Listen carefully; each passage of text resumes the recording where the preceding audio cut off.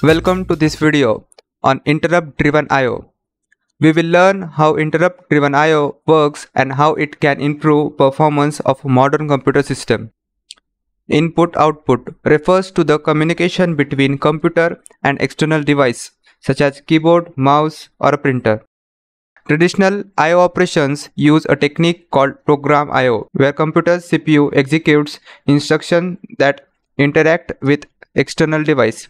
However, this approach can tie up the CPU resulting in slow performance. To solve this problem, modern computer system uses a technique called interrupt driven I.O. With interrupt driven I.O., the external device sends an interrupt signal to CPU indicating that they need attention. The CPU stops what it is doing, saves its current state, and handles the interrupt request. Once the interrupt request is handled, the CPU resumes its previous state and continues with its previous task.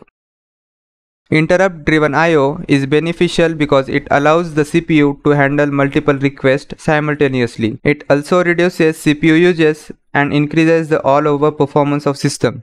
Let's take a closer look at how interrupt-driven I.O. works. When an external device needs attention, it sends an interrupt request to operating system. The operating system receives the interrupt request and decides which driver to call to handle the request.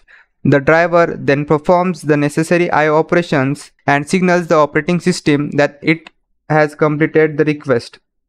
The operating system then signals the application that IO operation has completed and the application can continue its execution.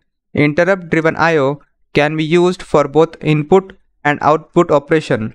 In input operation, the external device sends data to the CPU and in output operation, the CPU sends data to external device. Interrupt driven IO is used in many types of devices including keyboard, mic, printer, and hard drives. The use of interrupt-driven I.O. can significantly improve the performance of computer system. In summary, interrupt-driven I.O. is a technique used in modern computer system to handle external device communication efficiently. It allows the CPU to handle multiple requests simultaneously, reduces CPU uses, and increases all-over performance of system.